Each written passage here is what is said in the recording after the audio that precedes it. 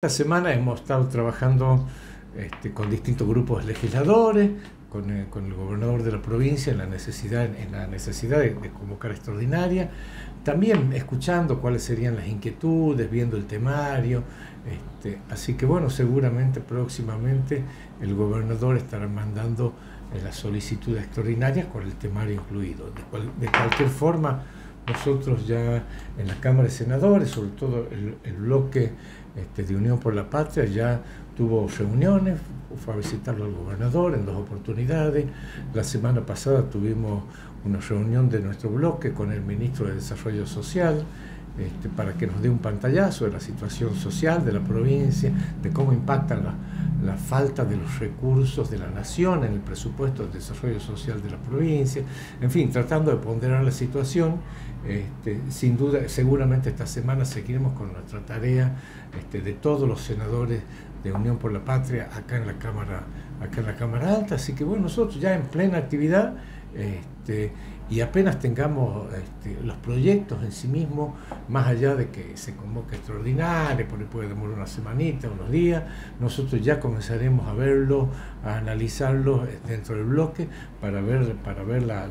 lo verosímil de, de que sea aprobada una extraordinaria. Doctor, hoy en la Cámara de Senadores, pero conoce muy bien la Cámara Baja también, ¿cree que la discusión va a ser más intensa en tema extraordinario, sea el temario que sea? Por la situación a nivel nacional también. Y, yo creo que hay, hay, cuestiones que son determinantes. Este,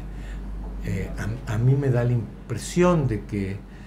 en vez de buscar puntos en comunes, nos vamos alejando.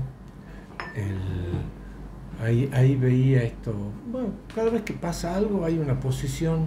de la oposición diferenciándose, agrieta o profundizando la grieta me parece que es un momento para ser muy cauto, para estar muy tranquilo, para preocuparse, para ocuparse, pero también para ir tendiendo puentes. No se puede gobernar este, en provincias como las nuestras este, sin estar este, en cierto diálogo con el Estado Nacional, digamos. Eh, hay que dialogar, hay que sentarse, hay Obviamente, no, no, hay que ceder ninguna cuestión que tenga que ver con los intereses de los catamarqueños, porque pero eso ya, mire, eso ya la, diputada Gino creo que cuando se,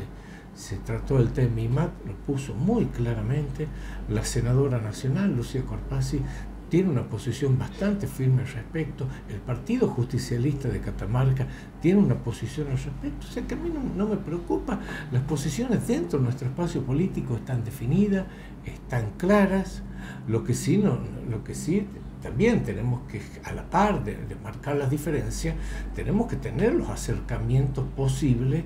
para ver cómo sigue esta novela, digamos, no es que no, no, no y no, no, hay que hacer el esfuerzo, sentarse, escuchar, trazar los puentes, ver de qué forma nos vinculamos con, de la mejor manera con el Estado Nacional, sin, sin que la provincia de Catamarca salga damnificada, pero evidentemente en esta eh, vinculación, revinculación que tenemos que tener con el Estado Nacional, sin duda que hay que poner mucho trabajo, mucha escucha, este, y sobre todo teniendo en cuenta los intereses de los catamarqueños. O sea, a mí la posición del gobernador me parece este, la más adecuada. Ustedes no se olviden que sobre el gobernador pesan la, el pago de sueldo, el sostener la obra pública, en hacer inversiones que sean estratégicas, ya sean servicios públicos, ya sean tecnología, ya sea en educación, en salud, en el área que sea. Entonces, si no parece que es una situación compleja, que meritúa análisis a fondo, serios, ah, más racionales que apasionados, diría yo.